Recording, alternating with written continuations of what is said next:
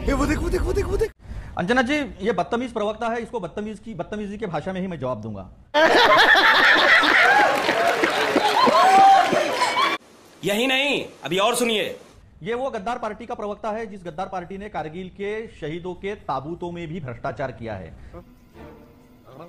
इन्होंने आम आदमी के पैसे यूटीआई में चबा गए ये लोग दबा गए खा गए ऐसी बेशरम और गद्दार और बेईमान पार्टी भाजपा का ये प्रवक्ता है। रुक जा, रुक जा, तो ये उस गद्दार पार्टी के लोग हैं जो पीएम केयर्स के प्रधानमंत्री देश के पीएम केयर का हिसाब नहीं देंगे। भाई क्यों नहीं देंगे? आपने लोगों का पैसा लिया है पीएसयू के कंपनी का पैसा लिया है। क्यों डरते हो आप? क्यों नहीं जाती ईडी वहाँ पर? अरे बाप रे ये तो धोती खोल रहा है।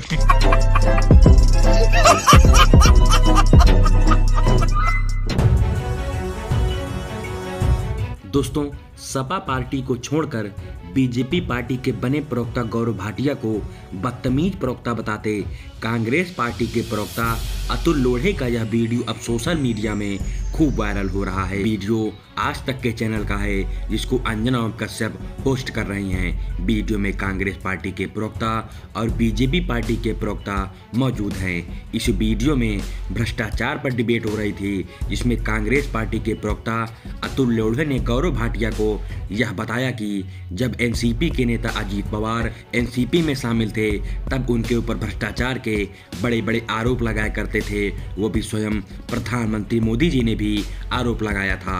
लेकिन जैसे ही उन्होंने बीजेपी ज्वाइन किया, उनके सारे आरोप धुल गए। मानो वॉशिंग मशीन में डालकर उनको धोकर बाहर निकाल लिया गया हो। अतुल लोढ़े ने बीजेपी पार्टी के प्रवक्ता गौरव भाटिया को बदतमीज प्रवक्ता भी कहा, जिसको वहाँ पर मौजूद अन्य पार्टी के प्रवक्ता ने भी सुना और अंजना ओम कश्यप ने भी सुना। दोस्तों, यह वीडियो जैसे ही सोशल मीडिया पर वायरल हुआ, तमाम social media users Gaurav Bhatia को जमकर ट्रोल कर रहे हैं। आप दोस्तों, गौरव भाटिया के इस प्रकार बेइज्जत होने पर क्या कहना चाहेंगे?